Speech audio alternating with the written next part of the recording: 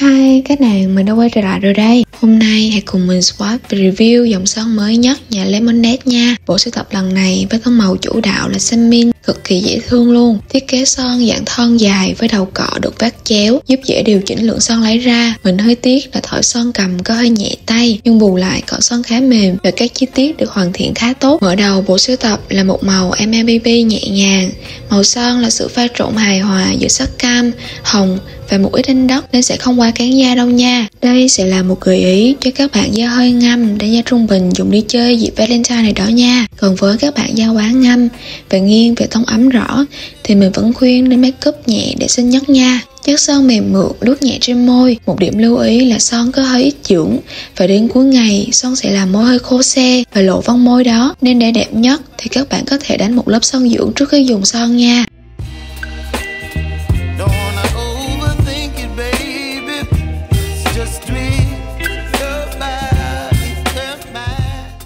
Son sẽ vẫn dây ra khẩu trang, ly khi chạm môi Nhưng các bạn có thể yên tâm là dù dây ra thành ly, khẩu trang Thì lớp son còn lại trên môi vẫn rất đẹp.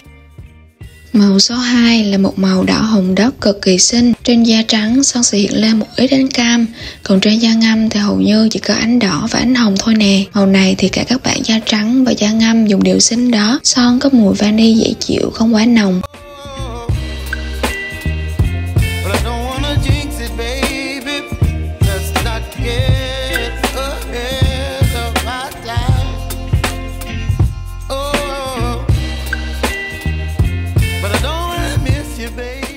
Màu số 3 là một màu cam đất có độ trầm vừa phải. Màu son này các bạn da ngâm dùng có khi còn xinh hơn các bạn da trắng đó nha.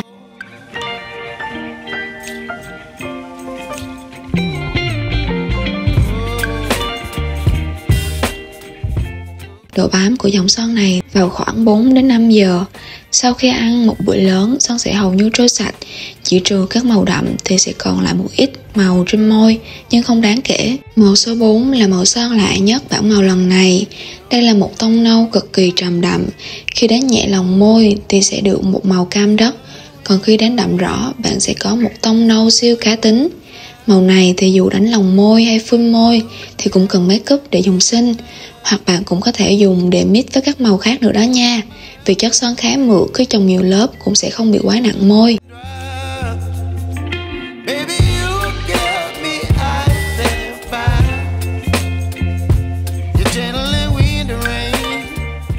son cuối cùng là một tông đỏ rượu quyến rũ. Ở cuối video mình có so sánh màu này với các màu son tương tự như Black Rose A12, Mercy V22, BBA A6. So với các màu này thì màu số 5 của Lemonade sẽ có nhiều ánh hồng tím hơn và có rất ít ánh cam. Nhưng nhờ có ánh đỏ và ánh đất nên các bạn da ngâm nếu muốn bon chen thì vẫn có thể mua về trải nghiệm thử nha.